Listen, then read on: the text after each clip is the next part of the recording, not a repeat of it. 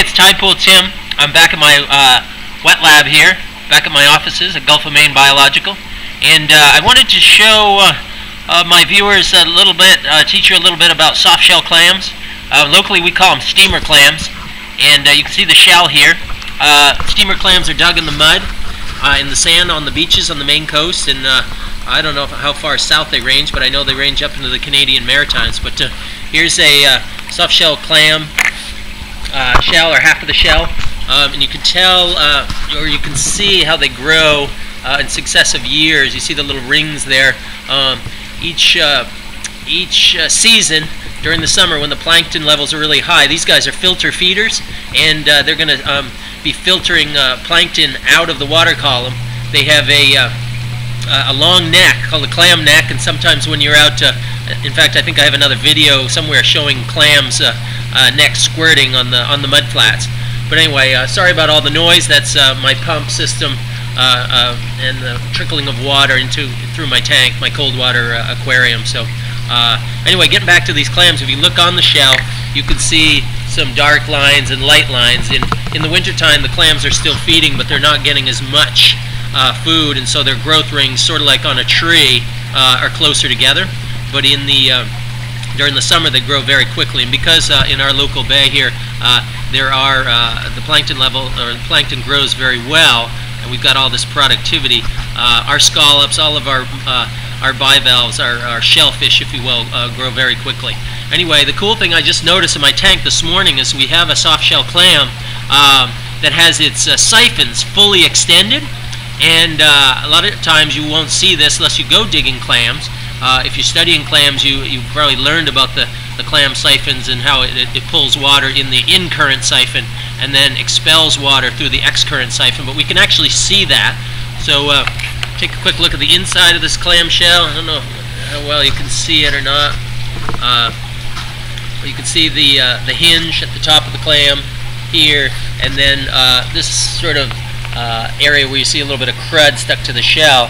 Uh, that, of course, is where they secrete the or it's where the mantle is and where they secrete the calcium to grow the shell itself. So uh, this this shell is just one I found on a local beach. But anyway, let's take a look at this uh, this uh, clam siphon. I think uh, our audience will get quite a kick out of it. So right here in my tank, I got a little bit of a reflection here.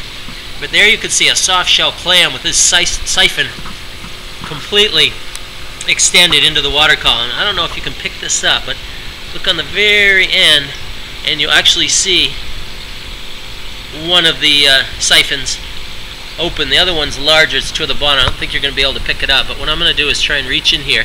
Now there's two clams. There's one in the back. Uh, and it doesn't, uh, the, the further back one does not have its siphons out. But this one, of course, does. And um, all I've done is I collected these and I put them into the uh, sort of cobbly bottom at the back, uh, bottom of my tank. So I don't know if you can see this, but that siphon is actually moving. I think it's picking up vibrations. See that? It almost looks like an elephant's trunk or something. Pretty cool. I've, I've actually never much seen, I've had a bunch of clams in my tanks before, never seen one with the siphon all the way out. And these are pretty large, large soft shell clams. So I'm going to try not dis to disturb that siphon. I'm going to grab this other clam and I'll show you what happens when you pull them out of the water. See it squirting? And so it's pulling its siphon in, and as it retracts its siphon, in other words, pulling in that elephant's trunk, if you will. Uh, something has to give and water squirts out. Oh, look at them! Look at them squirt now. Pick that up or not, you can see the mantle along the edge of the shell, and then the siphons. I don't know how close. Let's see what the focal distance is on this camera. And the genus of this particular clam, the soft shell clam, is called Mya and uh, the species is Arenaria, A-R-E-N-A-R-I-A. And uh, we have actually have shellfish hatcheries in Maine where they spawn these, and then they take the the spat, the baby clams, and put them out on the mud flats to help uh, with the wild stocks and hopefully get them to grow. We still have this uh, other soft shell clam here with its siphon all the way out. So sorry about that reflection from the lights, but see if I could grab that guy and pull it out of the water and watch how fast it's retracting its siphon. See it squirting? Pulling in. You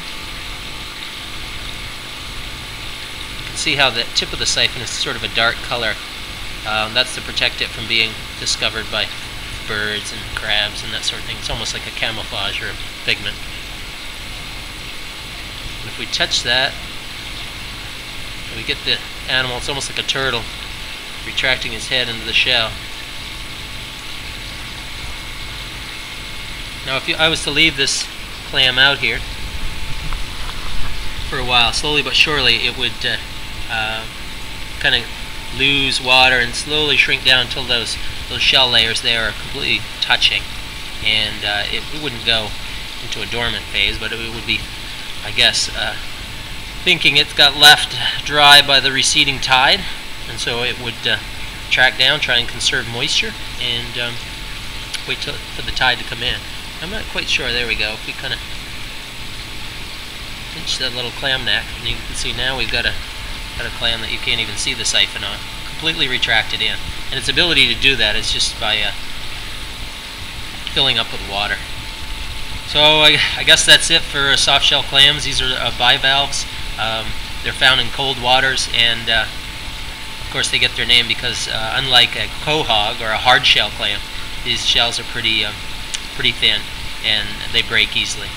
So uh, hope you learned a little bit about soft shell clams. Oh look, that one just squirted again. Oh, he's squirting again. Uh, here and I, like I said, this is something I hadn't seen very often, and I thought uh, you'd like to see it. So, have a good day. Talk to you soon. Bye.